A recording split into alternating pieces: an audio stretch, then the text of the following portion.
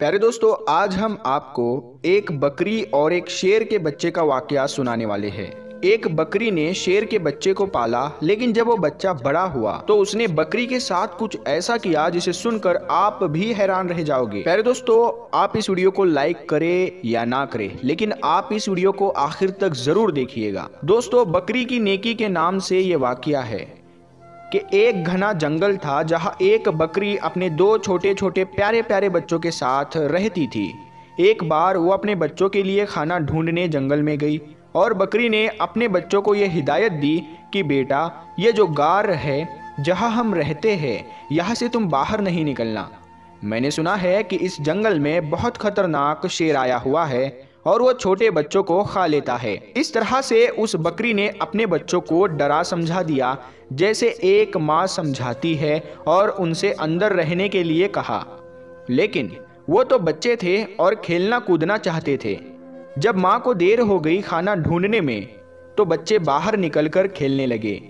वो शेर तो मौके की ताक में था, भूखा था। ललचाई नज़रों से देख रहा था और उसने झपट कर अपने बड़े बड़े नुकीले दांत निकाल कर उन बकरी के दोनों बच्चों को खा लिया। माँ जब वापस लौटी तो क्या देखती है कि बच्चे तो मौजूद नहीं थे, लेकिन उनकी हड्डियाँ पड़ी हुई थी।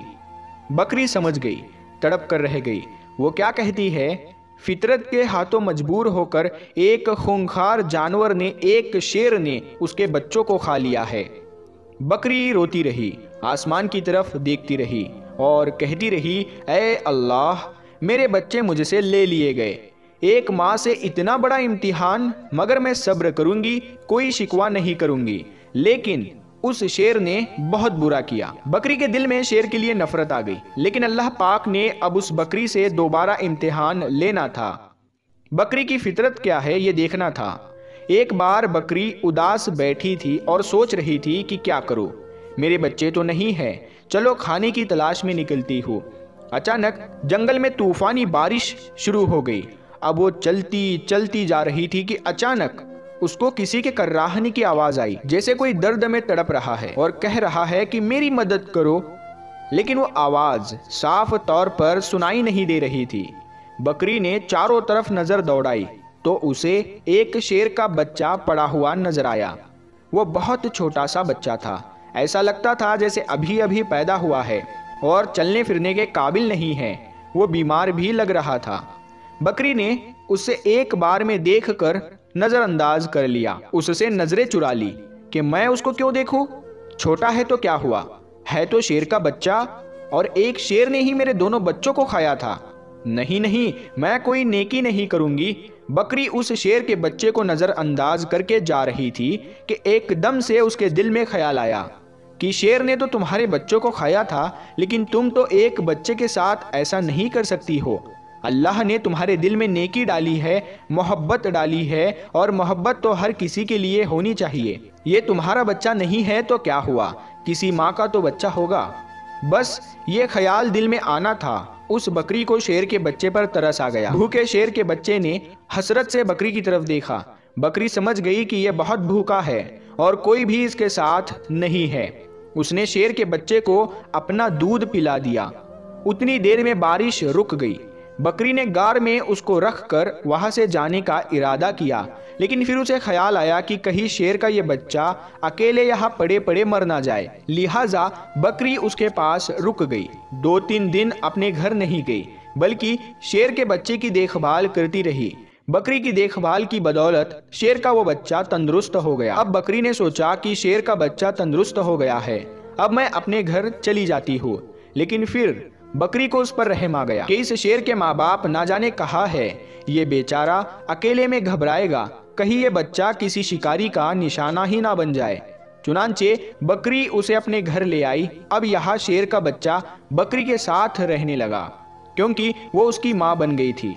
यानी पालने वाली माँ बन गई थी।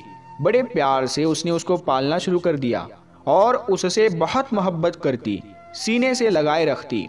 अब अल्लाह ताला ने बकरी को उसके भी बच्चे दिए, यानी बकरी के बच्चे पैदा हुए। लेकिन उसने अपने बच्चों में और शेर के बच्चे में कोई फ़र्क नहीं किया, बल्कि उसी तरह प्यार करती रही। वो शेर का बच्चा यही समझ रहा था कि यही बकरी मेरी माँ है और माँ समझ कर उसके साथ रहता रहा। शेर बड़ा हो गया और बकरी बूढ़ी हो गई थी। बकरी के दिल में अक्सर ये डर आता रहता था, उसको खौफ आ जाता था कि मैंने अल्लाह पाक की ज़ात पर भरोसा करते हुए एक माँ बनकर इस शेर को पाला है। लेकिन इसको बचपन में ये बात मालूम नहीं थी। जब ये जवान होगा तो इसे ये मालूम होगा कि मैं बकरी हूँ और ये शेर है। और शेर का काम तो बकरी को खाना ही है, अपने से कमज़ोर जानवरों पर हमला करना ही है। बकरी ये सोचती तो क्या ये मुझे भी खा लेगा? मेरे बच्चों को भी खा लेगा? अल्लाह पाक से दुआ करती, या अल्लाह, तेरी ज़ात पर भरोसा करते हुए मैंने इसको पाला है। माँ बनकर पाला है। इसका कोई नहीं था। अय अल्लाह, तू ही सबसे बड़ी हिफाजत करने वाला है। इस शेर के दिल में मेरी मोहब्बत डाल देना। शेर अब जवान हो चुका था। बकरी का बहुत ख्याल रखता था। बकरी से कहता था, तुम बूढ़ी हो गई हो। माँ, अब मैं तुम्हारा ख्याल रखूँगा और जो मेरे दो छोटे छोटे भाई हैं मैं उनका भी ख्याल रखूँगा। अब तुम्हें जंगल में कहीं जाने की ज़रूरत नहीं है। मैं तुम्हारे लिए खाने का इंतज़ाम करूँगा। बकरी उसको बहुत दुआ देती थी। अल्लाह पाक की आप शान करीमी देखिए। मोहब्बत का आप यहाँ पर असर देखिए कि एक बार वही बकरी घास खा रही थी। उसके आसपास उसके बच्चे भी खेल रहे थे कि अचानक वहाँ पर एक खूंखार शेर आ गया। वो दरिंदा उस बकरी को और उसके बच्चों को खाना चाहता था, लेकिन यहाँ पर जो जवान शेर था, जिसे बकरी ने पाला था, वो सीना तान कर सामने खड़ा हो गया। उसने कहा, तुम मेरी माँ को कुछ नहीं कर सकते। वो शेर कहने लगा, अरे, तुम तो मेरे साथी हो। तुम मेरे जैसे हो। देखो, हमारा काम इन बकरियों को और उनके बच्चों को खाना है। ये हमारी खुराक है। तो जिसे बकरी ने पाला था, वो शेर कहने लगा तुम जो भी कह रहे हो, मैं तुम्हारी इन बातों पर यकीन नहीं करता।